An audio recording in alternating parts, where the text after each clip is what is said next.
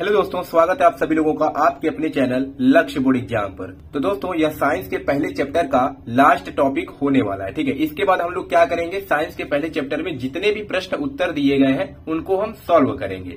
तो लास्ट में हमें क्या पढ़ना है? संचारण और विकृत गंधिता के बारे में पढ़ना है।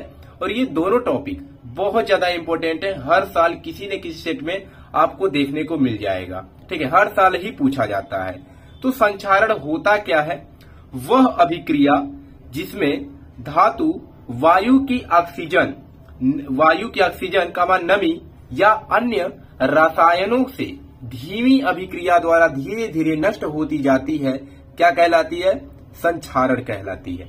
तो संचारण क्या होता है? आप देखे होंगे, कोई जो लोहे की वस्तु होती है, अगर उसको बाहर रख दिया जाता है, ठीक है, जैसे छत पर हो गया, खुले में रख दिया जाता है तो वहाँ पर क्या होता है? वो जो लोहे की वस्तु होती है वह ऑक्सीजन या नमी से, नमी के प्रभाव से वो रिएक्शन कर लेता है और उस पर जंग लगना स्टार्ट हो जाता है। ठीक है, ऐसी बहुत सी वस्तुएँ होती हैं। तो वही क्या कहलाता है? संचारण कहलाता है। तो वहाँ पर जो अभिक्रिया होती है, जैसे वायु की अभिक्रिया उस लोहे के साथ हो जाता है, जिससे जंग धीरे धीरे वो धीमी अभिक्रिया होती है, बहुत ज़्यादा धीरे धीरे होता है, ठीक है। तो उसे क्या कहते हैं? संचारण कहते हैं। जैसे उदाहरण में यहाँ लिखा भी गया है, लोहे पर जंग लगना, चांदी के आभूषणों पर काली परत का जमना इत्यादि। बहुत से ऐसे उदाहरण हैं। तो लोहे पर जो जंग लगता है तो उसमें जो अभिक्रिया होती है, उसे ही संचारण कहते हैं। उसी प्रकार चांदी के आभूषणों पर जो काली परत चढ़ जाती है, वो कैसे चढ़ती है, उसके बीच में जो रिएक्शन होता है धीरे धीरे रिएक्शन होते रहता है, ठीक है? तो कुछ दिन बाद क्या होता है, उस पर काली परत चढ़ जाती है। तो वो जो रिएक्शन होता है, उसे ही हम लोग संचारण कहते हैं, ठीक है? तो ये संचारण होता है। अब इसको हम कैसे रोक सकते हैं, इससे बचने के उपाय क्या क्या है? तो लिखा गया कि संचारण को धातुओं पर पेंट करके मिश्रित धातु बनाकर या अन्य धातुओं की परत चढ़ाकर रोका जा सकता है। जैसे लोहे पर जंग लगता है तो हम क्या करेंगे? जंग से बचाना होगा तो उसको हम पेंट कर देते हैं, ठीक है, जिससे वो बच जाता है।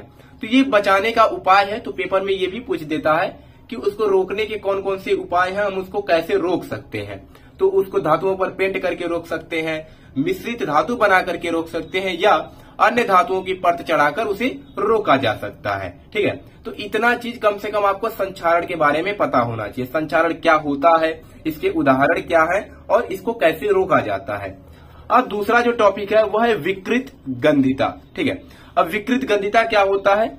खाद्य पदार्थों में उपस्थित तेल तथा वसा के मंद ऑक्सीकरण से उनके स्वाद तथा गंध का बदल जाना ही क्या कहलाता है? विकृत गंधता कहलाता है। मतलब जो आप खाना बनता है आपके घर में, वो जब खराब हो जाता है तो जैसे खराब होता है, उनकी जो क्रियाएँ होती है, बस उसी को विकृत गंधिता कहते हैं।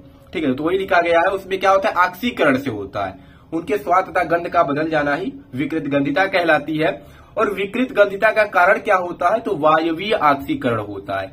क्या होता है? तो वायवीय ऑक्सीकरण होता है। उदाहरण में क्या हो सकता है? जैसे पानी तथा पनीर खुला रखने पर विकृत गंध देने लगते हैं। ठीक है, आप देखे होंगे, अगर इन्हें खुला में हम रख देंगे, एक से दो दिन बाद क्या देने लगते हैं? गंध देने लगते हैं। तो यही कहलाता है विकृत गंधिता। अब विकृत गंधिता को भी हम कैसे रोक सकते हैं? तो विकृत गंधिता को भी रोकने का दो तीन उपाय होता है। जैसे पहला, खाद्य पदार्थों को वायुरोधी पात्रों में रखना। ठीक है, खाद्य पदार्थों को वायुरोधी पात्रों में रखना। निम्न ताप पर पके हुए खाने का प्रशीतन। और तीसरा क्या है? खाद्य पदार्थ जैसे आलू, चिप्स इत्यादि की पैकिंग में ऑक्सीजन को हटाकर उसके स्थान पर नाइट्रोजन गैस भर देते हैं। आप देखे होंगे जो आप कुरकुरे खाते हैं, प्लास्टिक में जो होता है, चिप्स हो गया तो उसमें क्या होता है? उसमें नाइट्रोजन गैस भरा होता है, तभी वो खराब नहीं होता है। नहीं तो अगर वहाँ पे ऑक्सीजन रहेगा तो वो खराब होगा, क्योंकि वहाँ पे ऑक्सीकरण हो जाएगा तो इसीलिए नाइट्रोजन गैस वहाँ पर भर देते हैं। ठीक है? तो ये रोकने का उपाय होता है विकृत गंधिता को।